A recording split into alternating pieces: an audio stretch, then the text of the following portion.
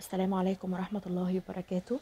مع حضراتكم Miss هاجر آه، مدرسة اللغة العربية للصف الثاني الابتدائي مدرسة الليدرز الرياض لغات تعالوا النهاردة مع بعض نكمل درس الأخلاق الكريمة.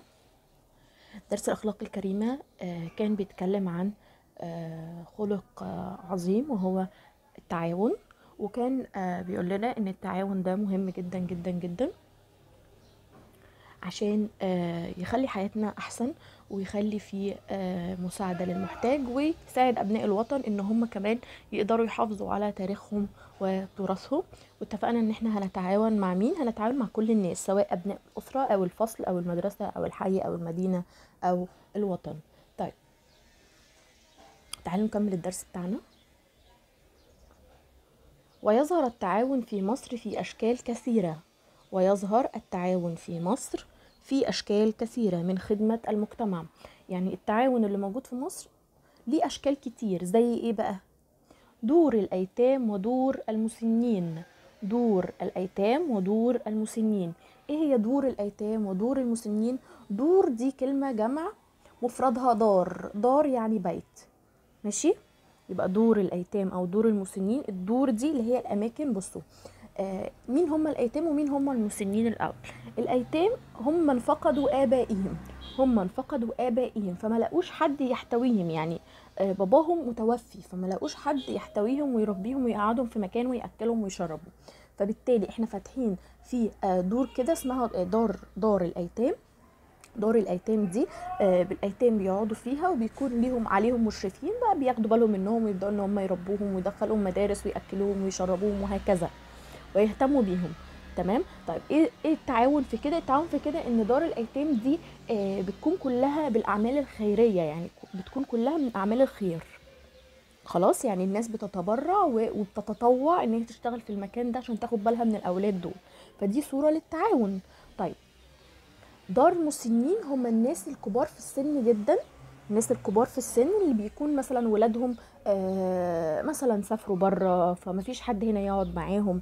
موجودين هنا بس مشغولين جدا جدا عنهم. فدار المسنين دي بتجمع كل الناس الكبار في السن يعيشوا مع بعض في مكان واحد وبرضه ناس بتاخد بالهم منهم وبتاخد بالهم من كل حاجة تعبانين آه، آه، لو في حالة خاصة مثلا آه، ما بيمشوش مثلا أكل وشرب وكل حاجة. وكمان بيبقوا قاعدين مع بعض و يعني بيتسلوا مع بعض شوية. هي دي دار المسنين. دار المسنين بيكون موجود فيها كبار السن اللي مش لاقيين حد يهتم بيهم. وبرضو دي صورة من صور التعاون لأن برضو الناس اللي بتشتغل هناك بتبقى تطوع متطوعين إن هم يشتغلوا وياخدوا بالهم من الناس دي. آه وكمان آه بيكون طبعا قايمة على آه تبرعات آه كتير. وناس كتير طبعا بتروح هناك عشان خاطر تفرح إحنا هنروح مثلا نقضي يوم في دار المسنين كذا عشان نفرح الناس اللي موجودة هناك ونجيب لهم أكل ونقعد نتكلم معاهم لأن طبعا الناس دي بتبقى ملهاش حد إيه يسأل عليها وكذلك دار الأيتام. فهمنا؟ عشان بس نبقى فاهمين إيه هو دار الأيتام وإيه هي دار المسنين. طيب دار ودار ودار ودار فاسمهم دور. يبقى دور كلمة جمع مفردها دار. الأيتام هم الأطفال الذين فقدوا آبائهم. هم الأطفال الذين فقدوا آبائهم. طيب والمسنين؟ كبار السن. المسنون اللي هم إيه؟ كبار السن. تعالوا نكمل بقى مظاهر التعاون. المعارض والمشاريع التي توفر الغذاء المعارض اللي بتتعمل اللي بيكون فيها كل آه، المعرض ده مثلا ممكن يكون فيه مثلا ملابس كتيرة جدا من من من أماكن مختلفة وبتتعرض. ممكن بأسعار أقل شوية بحيث إن الناس تبدأ إن هي تروح وتشتري اللي هي محتاجاه. المشاريع التي توفر الغذاء والملابس بأسعار مناسبة. زراعة الأشجار الحفاظ على البيئة كل ده تعاون الناس بتتعاون فيه إن هم آه، يحسنوا شكل المجتمع شوية ويوفروا احتياجات أبناء الوطن يعني الناس اللي عايشة معاه. طيب. ما أشكال التعاون في مصر؟ لو سألنا سؤال وقال لنا إيه هي أشكال التعاون في مصر؟ هقول إن أشكال التعاون في مصر كثيرة زي إيه بقى؟ يلا نعدهم. دور الأيتام دور المسنون المعارض المشاريع التي توفر الغذاء والملابس بأسعار مناسبة. أهم دور الأيتام دور المسنون المعارض المشاريع التي توفر الغذاء والملابس بأسعار مناسبة وزراعة الأشجار والحفاظ على البيئة. كل دي من أشكال التعاون في مصر. طب يلا نستخرج فعل يظهر. حرف جر في أو من. لام قمرية الأيتام المسنين المجتمع الملابس كل دي قمرية. اسم موصول؟ ها. هو الذي أو التي. هم. فين الاسم الموصول؟ التي. طيب تنوين؟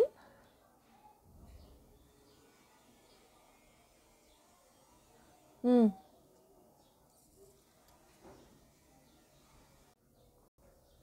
طيب التنوين هنلاقيه موجود في كلمة أشكال وكثيرة.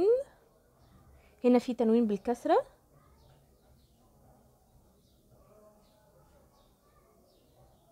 هنشوفها من الكتاب آه، المدرسي بتاعنا عشان الكلمات فيه مشكلة.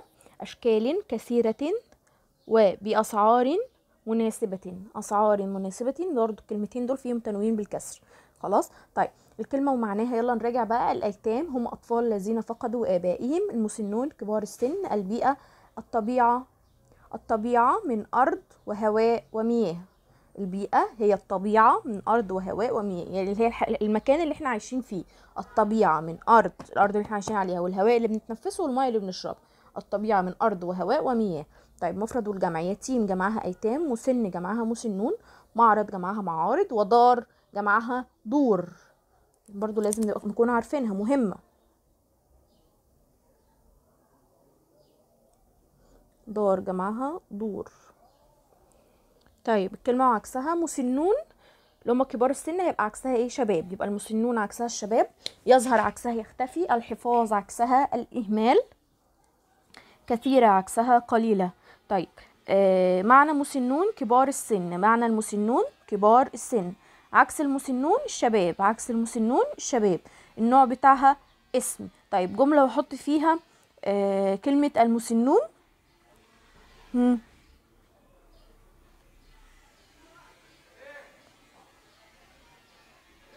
آه يظهر التعاون في مصر في دور المسنون يظهر التعاون في مصر في دور المسنين يظهر التعاون في مصر في دور المسنين مثلا يعني. أنتوا برضو اعملوا الجملة اللي أنتوا عايزاها. طب لو شبكة مفردات على البيئة البيئة فيها إيه؟ البيئة فيها أرض. البيئة فيها أرض فيها ماء فيها هواء. ها البيئة فيها أرض وفيها ماء وفيها هواء وفيها إيه كمان؟ أشجار مثلا. طب يلا. حلل المشاريع المشاريع. خمس مقاطع. اللي بعدها الغذاء. الغذاء. اللي بعدها مو ناسبات مناسبات. آخر واحدة الاشجار الاشجار تمام؟ طب يلا افتحوا معايا كتاب المدرسة.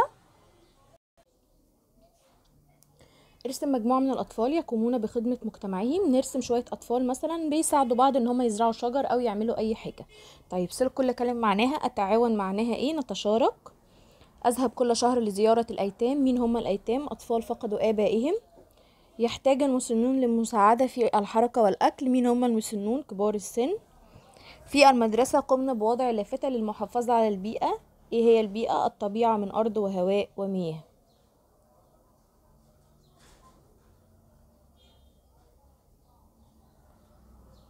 نقط من الأخلاق الكريمة التي توجد في حياتنا. إيه؟ التعاون. يتعاون الكل للمشاركة في المهام. و سعادة المحتاج الحفاظ على المكان. أذكر أمثلة للتعاون في مصر. إيه هي أشكال التعاون في مصر؟ زي مثلا دور المسنون ودور الأيتام. زراعة الأشجار الحفاظ على البيئة أي مثالين يعجبكم. هل أنت تلميذ متعاون؟ كل واحد بقى يجاوب لوحده. وصف لنا تصرفا كنت فيه متعاونا. نتكلم عن نفسك وقول لي حاجة أنت كنت متعاون فيها. طيب. الصفحة اللي بعدها. واجب. الصفحة اللي بعدها عبر عن كل صورة بجملتين احدهما فعلية والأخرى اسمية. هتعمل لي جملتين عن الصورة اللي إحنا شايفينها دي. الصورة اللي إحنا شايفينها دي عايزة جملتين. جملة منهم فعلية والجملة التانية اسمية. نفس القصة هنا.